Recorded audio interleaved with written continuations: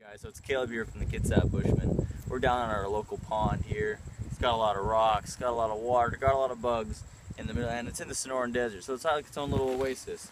And what you're gonna find at oases out here in the Sonoran Desert are scorpions, and you can see one right here. And there's a bunch of them. We're using black lights to find them. Night's the best time to find them. We're gonna show you guys how to eat these guys, because they are a great source of protein. So it is very simple to eat these guys. First off, you gotta make sure they're not gonna go anywhere. Hold on, let me get up there. There's another one right Ready? by my boot. Pin them down. Uh, right?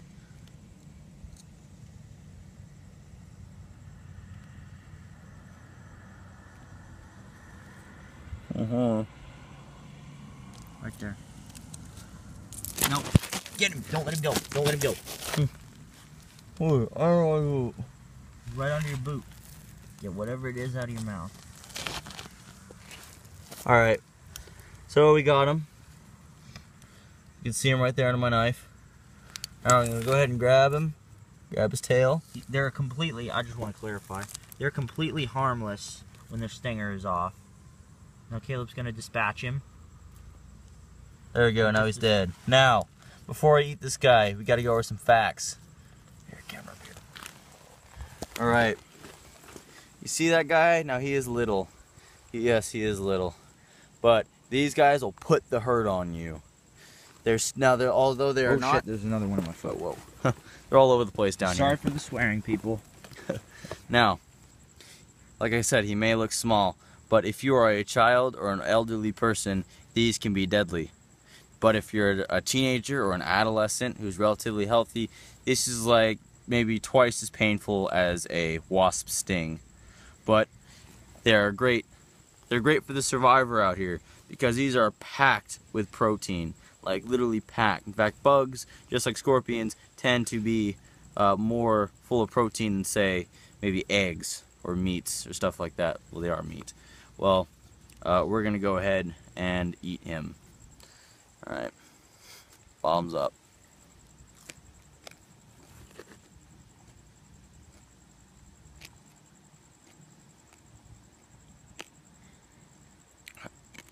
Kind of tastes like bad crab, snot, wood,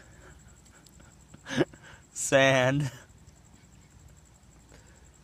And body odor. and Doritos actually. it's so weird. Even like egg yolk, it's like a bunch of things that's warm. It's like snot. Alright. Oh, it's a rock. I want Alright. to clarify, peoples. In my video, me eating one, I bit down on a rock too. It made me gag. Not good.